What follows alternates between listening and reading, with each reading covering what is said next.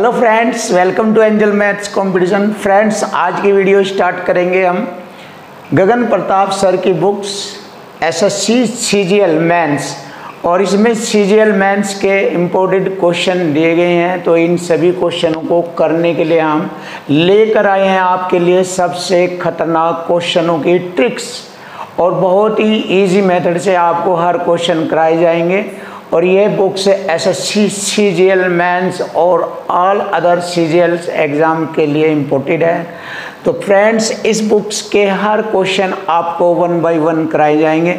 और ये books chapter wise है तो आपके सामने हम भी चैप्टर वाइज क्वेश्चनों को ही हल करेंगे। तो आइए स्टार्ट करते हैं। आज का फ़र्स्ट चैप्टर लेते हैं हम परसेंटेज तो परसेंटेज के यहाँ पर 2010 से लेकर 2021 तक के इसमें क्वेश्चनों को सबमिट किया गया है। तो हर क्वेश्चन को हम बहुत आसान से और इजी मेथड से करेंगे। तो आइए स्टार्ट करते हैं फ्रेंड्स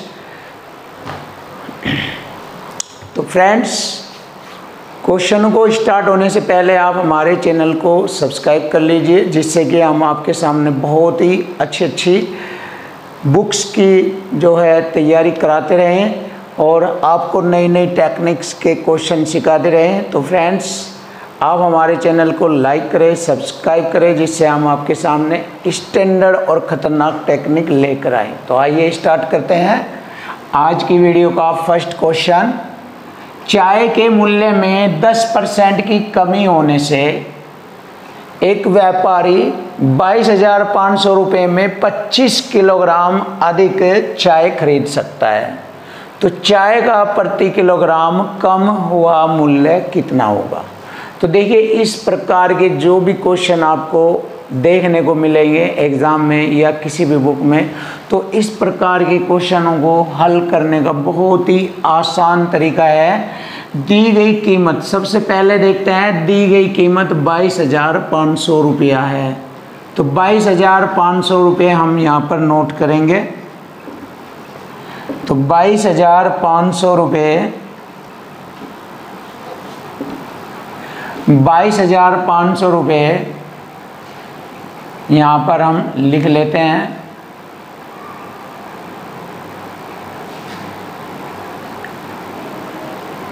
देखिए, बाईस हज़ार पाँच सौ रुपये लिख लेते हैं यहाँ पर। और हमें मालूम है कि मूल्य में 10 परसेंट की कमी होने से 25 किलोग्राम अधिक चाय खरीदी जा सकती है। तो यहाँ पर इस रेट पर हम 10 परसेंट की कमी को लिख लेते हैं। और जैसे ही रेट में 10 परसेंट की गिरावट या कमी आती है तो इस कमी के कारण 25 किलोग्राम अधिक चाय हमें प्राप्त होती है। तो 25 किलोग्राम जितना भी चाय अधिक या कम प्राप्त होगी, उसकी संख्या हम नीचे लिखते हैं। तो 25 किलोग्राम चाय हमें अधिक प्राप्त होगी। जैसे हम यहाँ से 25 से इसको भाग करेंगे और इस पूरी कंडीशन या कैलकुलेशन को हल करेंगे तो यहाँ से हमें वन के का मूल्य ज्ञात होगा। यानी कि एक किलोग्राम चाय का मूल्य हमें ज्ञात हो जाएगा।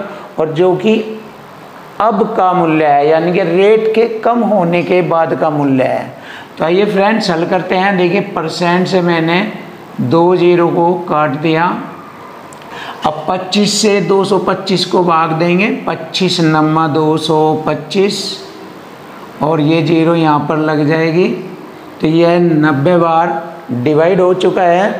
तो यहाँ से हमें मालूम हो गया है कि चाय का प्रति किलोग्राम कम हुआ मूल्य है नब्बे रुपये पर केजी। तो हमारे क्वेश्चन का आंसर बनता है नब्बे रुपये पर केजी ऑप्शन सी हमारे क्वेश्चन का आंसर है।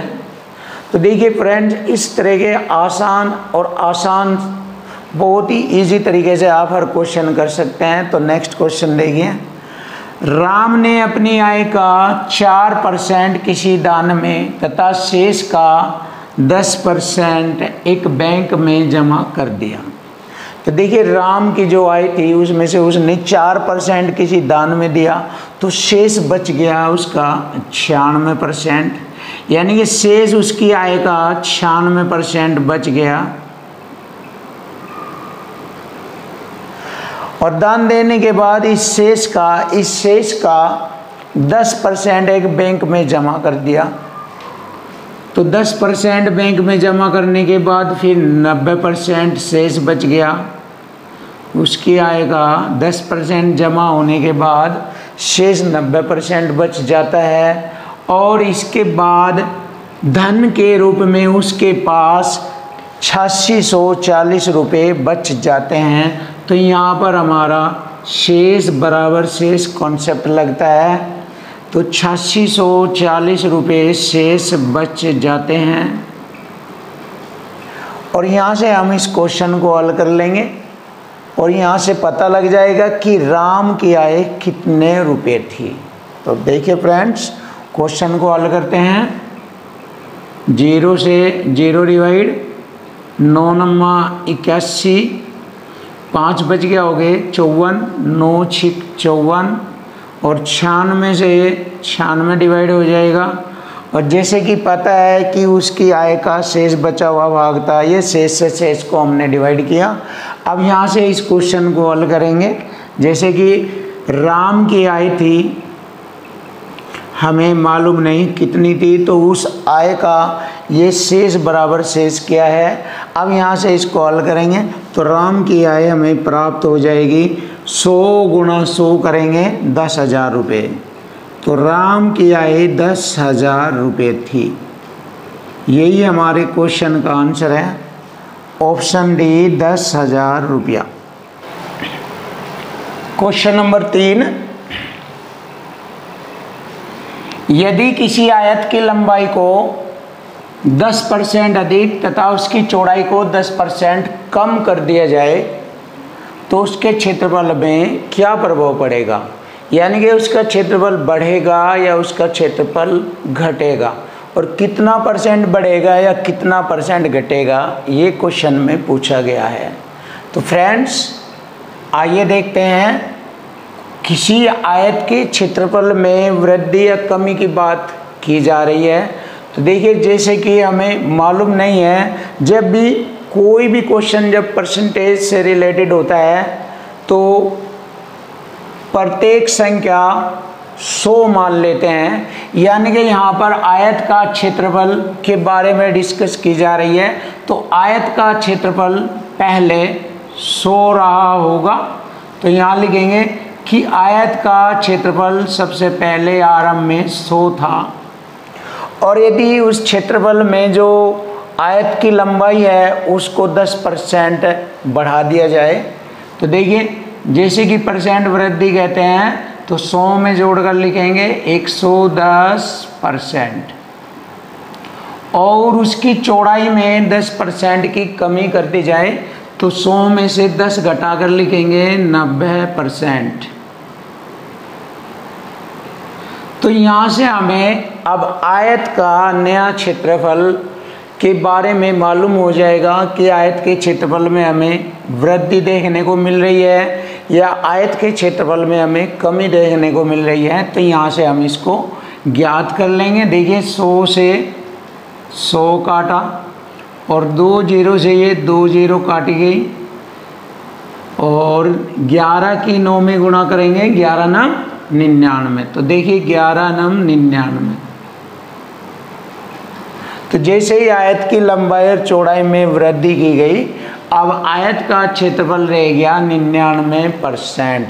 जैसे कि मैंने पहले माना था कि आयत का क्षेत्रफल सौ था, अब सौ से यह निन्यानवे रह गया। इसका मतलब ये हो गया कि आयत के क्षेत्रफल में एक परसेंट की कमी हुई है। तो यहाँ पर हमें दिखाई दे रहा है, हमें मालूम हो रहा है कि आयत के क्षेत्रफल में एक परसेंट की कमी हुई है। और यही हमारे क्वेश्चन का आंसर है कि आयत के क्षेत्रफल में एक परसेंट की कमी होगी। ऑप्शन ए हमारे क्वेश्चन का आंसर होगा। अब इसको हम एक सूत्र और एक ट्रिक के माध्यम से भी हम यहाँ पर इसको हल कर सकते हैं। देखिए। जब भी परसेंट वृद्धि और परसेंट कमी कहे तो इसके लिए एक फॉर्मूला होता है। वृद्धि के लिए प्लस ए और कमी के लिए माइनस बी और दोनों की गुणा करेंगे plus minus minus A B बटे सो। तो ये हमारा फॉर्मूला बनता है। या कह सकते हैं ये ट्रिक बनती है और इस ट्रिक से भी हम क्वेश्चन को हल कर सकते हैं। देखिए। आयत की लंबाई में 10 परसेंट की वृद्धि तो प्लस 10 लिखेंगे। माइनस दस परसेंट की कमी, माइनस दस लिखेंगे। और प्लस माइनस माइनस दोनों की गुणा करेंगे दस। दाम सौ। और बटे में यहाँ पर सौ। और परसेंट का चिन्ह यहाँ पर लास्ट में लगाते हैं। जैसे कि यहाँ पर ट्रिक्स में भी बताया गया है। तो अब इसको हम हल करेंगे, देखिए प्लस माइनस कट गया। अब 100 से 100 को डिवाइड करेंगे। एक बार कटेगा ये, यानी कि एक परसेंट की कमी। माइनस का चिन्ह रिप्रेजेंट करता है कमी को। तो आयत के क्षेत्रफल में एक परसेंट की कमी होगी। तो यहाँ पर हम इस क्वेश्चन को इस प्रकार भी सोल्व कर सकते हैं। तो फ्रेंड्स बहुत ही आसान और बहुत इजी मेथड है। और ये बहुत ही इससे भी आसान रहेगा क्योंकि इसके लिए हमें ट्रिक्स को याद रखना पड़ता है। लेकिन यहाँ पर हमें कोई भी ट्रिक्स याद नहीं करनी होगी। तो ये आपके लिए बहुत ही अच्छा है और आगे भी आपको हर क्वेश्चन इसी की मदद से आसान पड़ेंगे तो आइए फ्रेंड्स देख लेते हैं नया क्वेश्चन क्वेश्चन नंबर चार। देखिए, हर क्वेश्चन आपको बहुत ही आसान और सुंदर तरीके से कराए जाएँगे। जब किसी खिलौने के मूल्य में 20 परसेंट की वृद्धि हुई है तो बेचे गए नए खिलौनों की संख्या। जैसे देखिए, खिलौने के मूल्य में यदि वृद्धि हो जाती है तो खिलौनों को जब बेचा जाता है तो उसकी संख्या में कमी हो जाती है। जब रेट बढ़ जाता है तो उसकी विक्रय मूल्य कम हो जाता है। तो इसी प्रकार पूछा गया है कि दुकान की कुल बिक्री पर क्या प्रभाव पड़ेगा? तो यहाँ पर भी ये क्वेश्चन हम इसी प्रकार से हल कर सकते हैं, देखिए। सबसे पहले उसकी बिक्री सो रही होगी। और जैसे ही उसने अपने खिलौने के मूल्य में 20 परसेंट की वृद्धि की तो अब हो गया 120 परसेंट बटे सौ। तो उसके खिलौनों की संख्या में 15 परसेंट की कमी हो जाती है। जैसे कि मैंने बताया है कि परसेंट वृद्धि आए तो 100 में जोड़ कर लिखेंगे और परसेंट कमी आ जाए तो 100 में से घटा कर लिखते हैं। अब आप जानते हैं कि 100 में क्यों जोड़ कर लिखते हैं? क्योंकि परसेंटेज का अर्थ होता है किसी भी कोई भी संख्या या कोई भी वस्तु उसकी कीमत, उसकी वैल्यू हमेशा 100 परसेंट होती है, जब बात परसेंटेज की की जाए तो। कोई भी वस्तु या कोई भी संख्या श्रम अपने आप में 100 होती है, क्योंकि परसेंटेज वाले क्वेश्चनों में परसेंटेज के अकॉर्डिंग उसकी वैल्यू 100 परसेंट मानते हैं। तो इसीलिए मैं कहता हूँ कि जब परसेंटेज वृद्धि कहे तो सौ में जोड़ कर लिखेंगे, और जब परसेंटेज कमी कहे तो सौ में से घटा कर लिखते हैं। तो इसी प्रकार यहाँ पर 15 परसेंट की कमी हो गई है तो 100 में से घटा कर लिखेंगे 15 परसेंट की कमी पिचासी परसेंट। पंद्रह की कमी हो गई तो पिचासी परसेंट यहाँ पर लिखा जाएगा। और अब इसको हम आसानी से हल करेंगे। सौ से सौ डिवाइड और बीस छिके एक सौ बीस और बीस पंजे सौ और पाँच से मैंने इसको डिवाइड किया, सत्रह बार और सत्रह छिके एक सौ दो। देखिए, सत्रह गुणा छः करेंगे, सत्रह छिका एक सौ दो। जैसे कि मैंने बताया था, उसकी वैल्यू पहले सौ थी, सौ से अब कितनी हो गई वो एक सौ दो। तो यहाँ से हमें मालूम हो गया है कि उसके जो बिक्री मूल्य है या बिक्री पर जो प्रभाव पड़ा है, वो दो परसेंट वृद्धि का पड़ा है। तो उसके बिक्री मूल्य पर दो परसेंट की वृद्धि होगी। तो उसके बिक्री मूल्य में दो परसेंट की वृद्धि होगी। और यही हमारे क्वेश्चन का आंसर होगा। ऑप्शन ए, दो परसेंट की वृद्धि। तो देखिए फ्रेंड्स, बहुत ही अच्छे अच्छे क्वेश्चन आपको आगे धीरे धीरे जैसे जैसे हम आगे बढ़ते जाएँगे तो लेटेस्ट और ख़तरनाक क्वेश्चन आपके आगे आते जाएँगे और उनको भी हम बहुत ही आसान और सुंदर और ख़तरनाक टेक्निक से करते रहेंगे। तो वीडियो को स्किप मत कीजिएगा, आगे देखते रहिए और ख़तरनाक से ख़तरनाक कैलकुलेशन और उनके सॉल्यूशन आपको देखने को मिलते रहेंगे। क्वेश्चन नंबर फाइव मानवेंद्र प्रतिमा पंद्रह हज़ार रुपये कमाता है और उसका अस्सी परसेंट व्यय करता है। वेतन में संशोधन के कारण उसकी मासिक आय में अब 20 परसेंट की वृद्धि हुई है। किंतु वस्तुओं के मूल्य बढ़ जाने से उसे अब 20 परसेंट अधिक व्यय करना पड़ता है। उसकी नई बचत बताए। तो देखिए, बहुत ही आसान और बिल्कुल इजी तरीके से क्वेश्चन हल करेंगे। मानवेंद्र की प्रतिमा आई थी पंद्रह हज़ार रुपया। देखिए, पंद्रह हज़ार रुपये थी। उसका अस्सी परसेंट खर्च कर लेता है वह। देखिए, इसका अस्सी परसेंट खर्च बैठता है बारह हज़ार रुपया। तो बारह हज़ार रुपये वह खर्च कर लेता है। इसके बाद बचत होती है उसकी पंद्रह हज़ार में से बारह हज़ार खर्च कर लिया तो बचत तीन हज़ार रुपये की होती है। देखिए, बचत तीन हज़ार रुपये की होती है, यहाँ पर लिखेंगे। वेतन में संशोधन के कारण उसकी मासिक आय में 20 परसेंट की वृद्धि हो जाती है। ये उसकी मासिक आय है। इसमें हमने 20 परसेंट की वृद्धि करेंगे। इसमें हम 20 परसेंट की वृद्धि करेंगे तो यह अट्ठारह हज़ार रुपये हो जाती है। देखिए, पंद्रह हज़ार का 20 परसेंट बैठता है, तीन हज़ार रुपये और बढ़ जाता है तो अब बढ़कर अट्ठारह हज़ार रुपये हो जाती है। जैसे उसकी वृद्धि हुई तो उसका व्यय भी 20 परसेंट अधिक हो जाता है। तो देखिए, पहले उसका 80 परसेंट खर्च होता था बारह हज़ार रुपये अब 20 परसेंट और अधिक खर्च हो जाता है तो यहाँ पर हम बारह हज़ार पर 20 परसेंट और अधिक खर्च देखते हैं, कितना बैठता है। सौ में जोड़कर लिखेंगे 120 परसेंट। अब उसका नया खर्च होगा, परसेंट से मैंने ये दो ज़ीरो काटी, बारह बारह एक सौ चवालीस और दो ज़ीरो ये।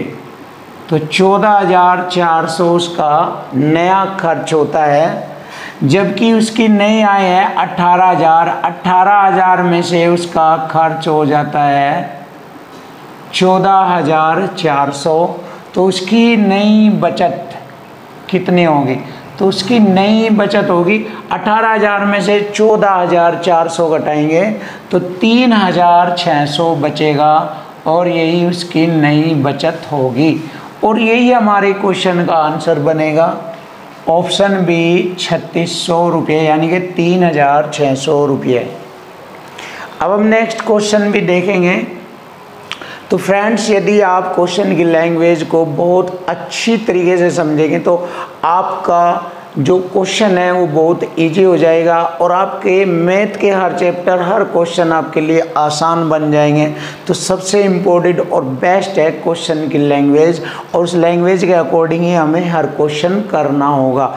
यही हमारा तरीका है टैलेंट है, तकनीकी है। तो इस तकनीकी को आप सीख कर आप क्वेश्चनों को बहुत आसान कर सकते हो और सेकेंडों में कर सकते हो।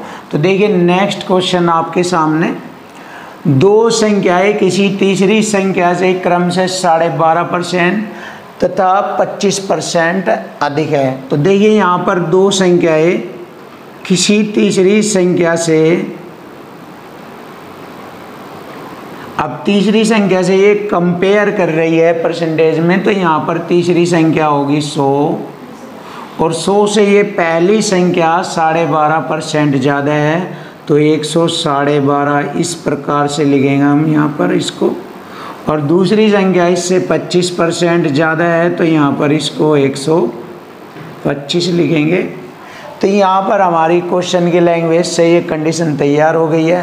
पहली संख्या, दूसरी संख्या के कितने प्रतिशत के बराबर है? तो देखिए, यहाँ पर दूसरी संख्या के ये कितने प्रतिशत के बराबर है? पहली संख्या। पहली संख्या है हमारी एक सौ साढ़े बारह परसेंट। यानी एक सौ साढ़े बारह। और यह है दूसरी संख्या का कितना प्रतिशत है? ये पूछा गया है। दूसरी संख्या यहाँ पर है हमारी 125 तो 125 का ये कितना परसेंट है? ये हमें फाइंड करना है। तो देखिए, इसको बहुत आसानी से कर सकते हैं। 100 से गुणा परसेंट का चिन्ह। अब यहाँ से इसको हम हल करेंगे। 25 पंजे 125 और 25 चौका 100 अब यहाँ पर पाँच से इसको डिवाइड करेंगे।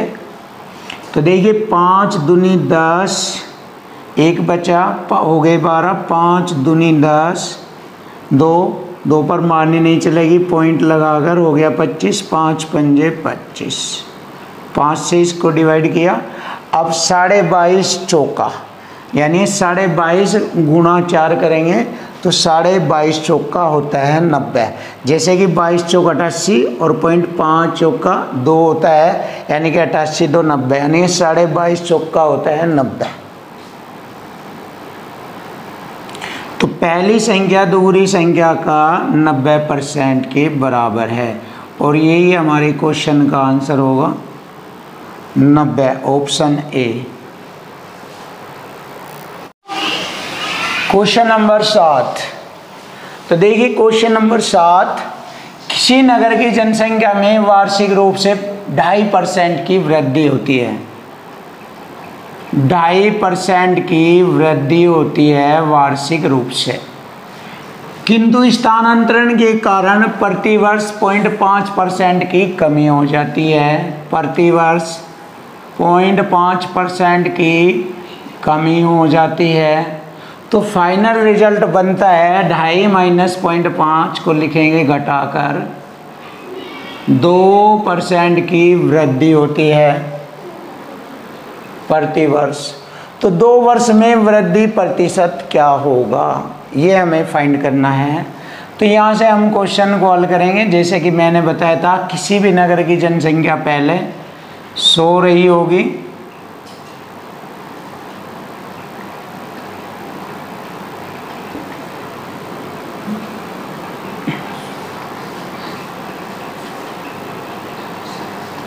और उस पर हम प्रतिवर्ष दो परसेंट की वृद्धि कर कर लिखेंगे। 102 परसेंट गुणा 102 परसेंट। और अब इसको हम यहाँ से हल करेंगे तो हमारे क्वेश्चन का आंसर हमें प्राप्त हो जाएगा। देखिए, दो ज़ीरो से मैंने दो ज़ीरो काटा और 102 व 102 की यहाँ पर हम गुणा करेंगे। तो देखिए 102 का वर्ग होता है 100 से दो ज़्यादा है तो दो का वर्ग लिखेंगे ज़ीरो चार।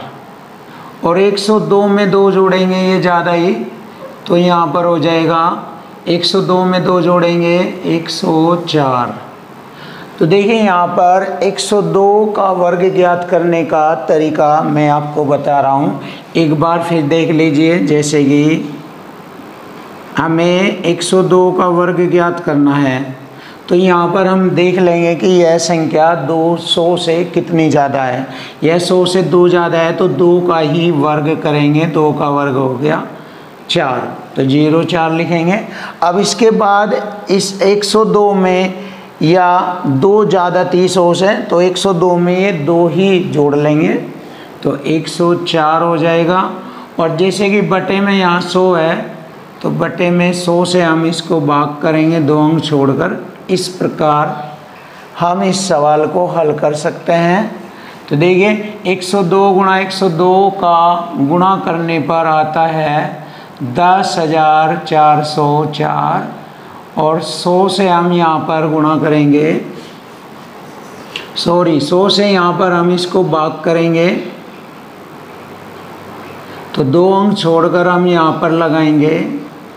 104.04 अब हम यहाँ से मालूम करेंगे कि हमारे जनसंख्या पहले 100 थी, अब बढ़कर हो गई 104.04 तो यहाँ से हमें मालूम हो गया है कितना परसेंट की वृद्धि हुई है। जनसंख्या में। तो 4.04 परसेंट की वृद्धि हुई है। सौ से देखेंगे कितना ज़्यादा है, सौ से यह चार पॉइंट ज़ीरो चार ज़्यादा है। तो यही परसेंट वृद्धि को रिप्रेजेंट करता है। तो परसेंट वृद्धि हो गई, ऑप्शन बी चार पॉइंट ज़ीरो चार। तो ऑप्शन बी हमारे क्वेश्चन का आंसर है। अब हम नेक्स्ट क्वेश्चन देखते हैं। किसी कक्षा के बहत्तर परसेंट विद्यार्थियों ने बायोलॉजी यानी कि जीव विज्ञान लिया। तो बायो लेने वाले विद्यार्थियों का परसेंट है बहत्तर परसेंट। और चवालीस परसेंट ने गणित लिया, यानी कि मैथ लिया। तो चवालीस परसेंट ने यहाँ पर मैथ लिया। यदि प्रत्येक विद्यार्थी ने जीव विज्ञान या गणित में से कम से कम एक विषय लिया है। तथा 40 विद्यार्थियों ने दोनों विषय लिए। हैं तो यहाँ पर कम से कम एक या 40 विद्यार्थियों ने दोनों विषय लिए हैं। तो यहाँ पर हम लैंग्वेज के अकॉर्डिंग क्वेश्चन को हल कर रहे हैं। तो यहाँ पर दिया है कम से कम एक विषय लिया है तथा 40 विद्यार्थियों ने दोनों विषय लिए हैं। तो दोनों विषयों को लेने वाले छात्रों की संख्या यहाँ पर 40 बताई गई है। और यहाँ पर हम देख लेंगे कि दोनों विषय लेने वाले छात्रों का परसेंटेज कितना हो गया है। जोड़ लेंगे इसको। बहत्तर व चवालीस जोड़ेंगे 116 परसेंट बनता है। तो यहाँ से हमें मालूम हो गया है कि 100 परसेंट से जितना भी अधिक होगा वह दोनों विषयों को लेने वाले छात्रों की संख्या को रिप्रेजेंट करता है। तो 100 से ज़्यादा यहाँ पर हमें 16 परसेंट अधिक दिखाई दे रहा है। तो जो यहाँ पर 16 परसेंट जो अधिक है, यही दोनों विषय लेने वाले छात्रों की संख्या को प्रेजेंट कर रहा है।